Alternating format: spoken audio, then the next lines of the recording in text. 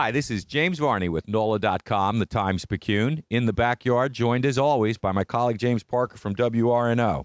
Today we're talking about AI or artificial intelligence, and apparently it's going to be the end of the world as we know it. Yeah, but it's not. It's going to happen long after we're dead. Look, the, the the big discussion, the debate that should be have is who's going to knock humans off the top of the food chain on Earth? Is it going to be the apes? Is it going to be the robots? My money's on the robots. Okay, so you you do think that sooner or later someone's going to knock us off the top of the food chain, but I mean, you know, there's a lot of smart guys. Uh, Stephen Hawking, uh, some other guy at Oxford just wrote a book about this and they're all quite worried about it. They seem to think that we're going to, you know, turn the switch on one of these computers and it's just going to start bootstrapping itself with intelligence. The next thing you know, it's going to rule the world. Have you not seen Terminator? Have you not seen The Matrix? I mean, this the, iRobot. This is going to happen. Here, here's the deal, though. Um, you're also going to see human beings kind of morph into the cyborg world. We have the artificial heart, right? They keep improving on that to where it's getting to the point where just cut out my heart and give me one of those artificial ones. It's going to work better anyway, like right? RoboCop or something. Yeah, we're going to have all kinds of implanted stuff, and it'll be just like Luke Skywalker getting the hand, and you see all the mechanics, and eventually he's going to be more machine than human.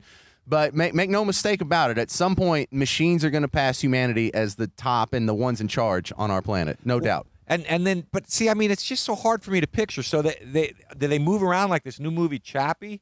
Or do they just hang out in a building and they make all of Europe one big solar panel so they have an inexhaustible energy supply? Well, there's not going to be one type of robot that takes us over. It's going to be an so It's going to be a robot, not a computer.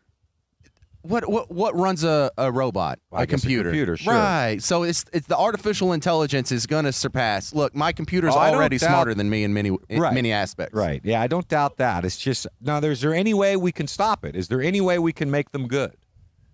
Uh, no, on a long enough time scale, it's going to go bad, right. and, and, we're gonna we're gonna lose.